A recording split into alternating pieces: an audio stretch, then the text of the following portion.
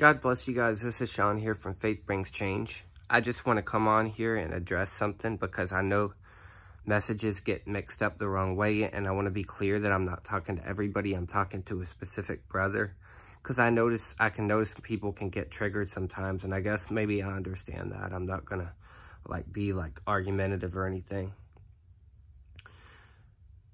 But, um, you know, the message basically said if you love now, if you love people, you will warn them.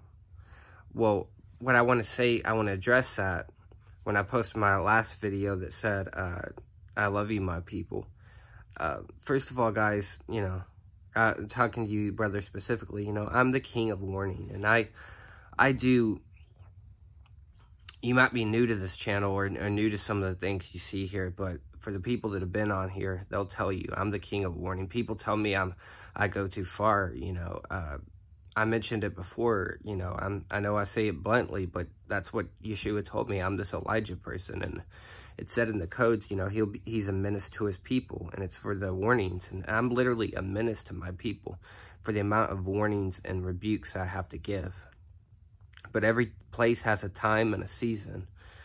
And I've, and I've, and I've did a, done a lot of warnings and I will continue to do that, but not there is some messages that are targeted at specific individuals who are hurting that I actually, one particular talked to on the phone, and I'm not going to say who it was that I talked to, but that person was going through stuff, and, and, and they are going through stuff, and, and so I'm going to freely love them, and I'm not going to be afraid to speak what God puts on my heart towards somebody, because some of these messages in the book of Isaiah, you see him rebuking harshly, I mean, you read that last message. Uh, uh, it's no different than the book of Isaiah or anything. And some of them are hard chapters, hard rebukes. Some of them I'm trying to minister to people who are already at the repentant stage. This is one of that the the people in particular, and this is that message that I sent last for was for the particular people in that group that uh, have repented and and but but in their mind the problem is they're getting chased, and, and we have to be careful with this sometimes, guys, even the holiness movie, getting chased by the religious voices, because there are people like me that repent. That message that I put out was specifically what God was saying to me ab about me, and I felt it applied to other people because I've already given up my sins. And but I hear voices of the world and and also of other churches and maybe even churches that are that are in the right holiness new movement, but they've in the past have rejected me because I was too loud or I was too this or I was too that or I was too whatever. But but the truth was I wasn't walking in any sin and I'm not in any sin. I'm in holiness. And so these are the kind of voices I hear in my head from the past. And, it, you know, like saying, you're no good, you're nothing. And even though I'm walking in the Lord, and I was hearing yesterday, uh, having a dream, and this guy was saying, you're so effing vain. And this guy, he was a foreigner, and he was from another faith, and just attacking me, attacking me, attacking me. And I just was quiet. And then somebody uh, rose up in the dream. I know it was an angel, but I, I, actually, I believe that it was a Lord. There were angels around, but he comes in the form of my sister in, in the dreams a lot of times. And, and he said, get him out of here, get him out of here. And he was so angry, and they just threw him out. And so we have to be careful, guys, when we're making videos that we don't assume things about other people that that is not true and and look and investigate and just go on my channel and scroll down to my videos. My gosh you'll see i don't tell i tell people that if they sin their names are blotted out of the book of life. They they're following satan at that time. Their names are immediately erased. So i can't see how much more of a, a straight arrow i can be you know. I tell them they have to there uh it's it's wicked to say you know, we all make mistakes. We're going to continue to make mistakes because it's prophesying failure. And, and I've, I've been adamant about saying that. I've attacked things that men in the church wouldn't attack, like makeup and things, and talked about, you know, all that stuff. And so I don't, I don't have anything to, I'll, I'll speak lightly, you know, respectively. I don't have anything to prove to anybody.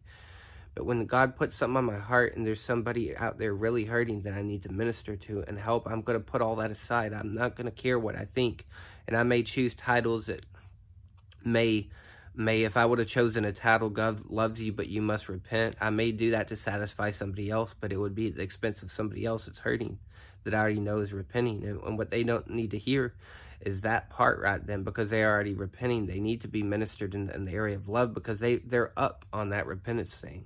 They're right there. But the love part, they need they need more to show more love. And, and it's unfortunate that sometimes there are people out there, guys, that are the most devoted to Yeshua and they're the, the poorest people out there that are hurting the most. They're following, willing to uh, go over the moon for Yeshua, and they are, but sometimes they get pushed out of the church because people maybe don't like, you know, whatever it is about them, and it's not sin at all. It's not even sin. It's just whatever it is about them. They don't seem strong enough, or they don't seem, and, and let me tell you guys, I've been, I've been there where I've tried to be so strong and so bold and all that stuff sometimes it's good to be weak in the Lord. And, and weak in the Lord doesn't mean you're sinning, doesn't mean you're doing anything wrong. And, and we have to be able to manage where other people's faiths are. One thing Yeshua talked to me, not everybody's faith is at the same level yours is. And I'm not saying about sin. I just mean some people are brokenhearted and they're not up there rejoicing. And, and Yeshua says he's not only up there on the mountain, he's in the valley with people. We have to be able to get in people's pain and sometimes and see where they are. And at, at, that particular point, you know, and I make no apologies about the video I made out there, but it is what it is, guys. Uh, but I, I love you. I'm praying for you. You know who you are. And if, yeah, if you got sin, you need to repent. But uh, to those out there who are already at that stage and they've already given up their sin, and right now at this point they're trying to find somewhere to go. I'm I'm ministering to them to get them back because I know if I do that, they will do what the Lord wants. And and these people that I'm, uh, this particular person, you know, I ministered to when I put out my video, is a person that puts out uh, videos for the Lord. And there's, I don't see people doing that. I don't see very many people doing that. So at least this person, you know, they're doing something. They're they're they're trying to reach Yeshua, and that's more than I can say for most of the church. You know, they're trying to reach it, and I didn't. I don't hear any guile coming out of their mouth when I talk to them. I don't hear any like bad things.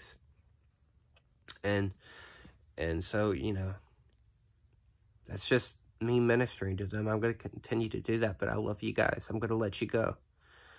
I'm praying for you all. Uh, till next time, shalom.